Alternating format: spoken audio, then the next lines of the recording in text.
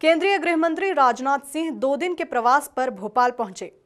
उपचुनाव में भाजपा के खराब प्रदर्शन पर सिंह ने कहा कि लंबी छलांग लगाने के लिए दो कदम पीछे हटना पड़ता है। हम भविष्य में लंबी छलांग लगाएँगे। राजनाथ ने कहा कि जनता को पेट्रोल, डीजल की कीमतों के बोझ से बचाने के लिए सरकार पूरी तरह से गंभीर है।